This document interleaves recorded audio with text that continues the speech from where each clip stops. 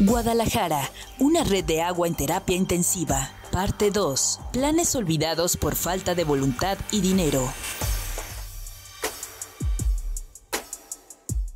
La red hidráulica secundaria de Guadalajara tiene que renovarse, aseguran los expertos en ingeniería. Sin embargo, existen planes y programas para realizar tal tarea.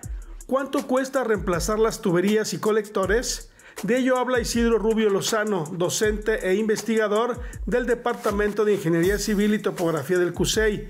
Existe una gran planeación y especialistas para llevar a cabo el trabajo de la renovación de la red hidráulica de Guadalajara. Sin embargo, esa tarea se ha postergado por decenios. Hoy se calcula que se necesitan 13 mil millones de pesos para reemplazar colectores y tuberías añejas. Aunado a ello, se requiere voluntad de los gobernantes para asignar recursos y gestionarlos ante la federación.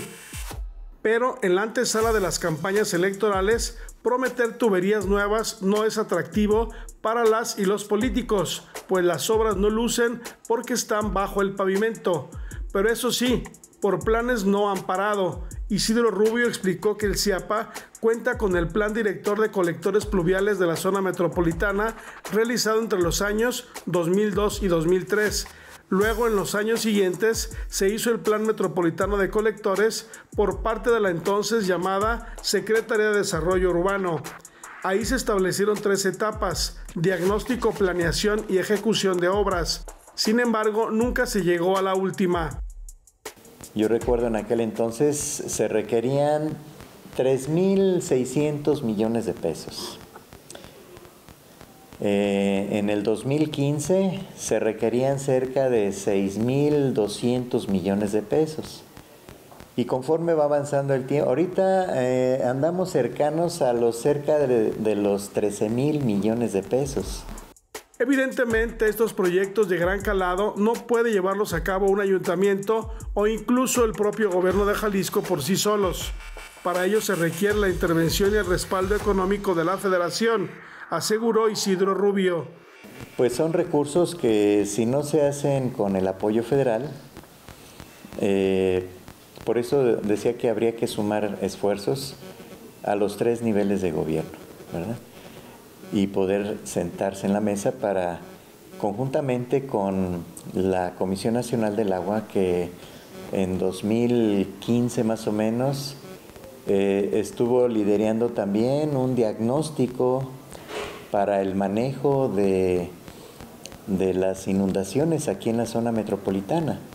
Es importante también saber si, si hubo resultados de, de esas gestiones que la CONAGUA estuvo haciendo y pese a que la federación cerró la llave de esos fondos a los estados, Jalisco debe insistir en ello, enfatizó Gustavo Organista Macías, presidente de la Asociación Mexicana de Hidráulica de Jalisco, pues las obras son necesarias.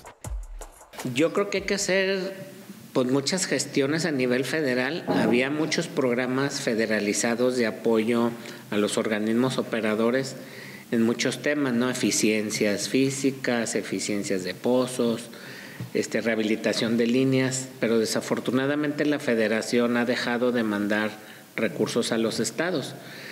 Entonces, pues realmente el municipio con la tarifa que cobra por los servicios de agua y de drenaje, pues tiene que darle salida a este tipo de inversiones.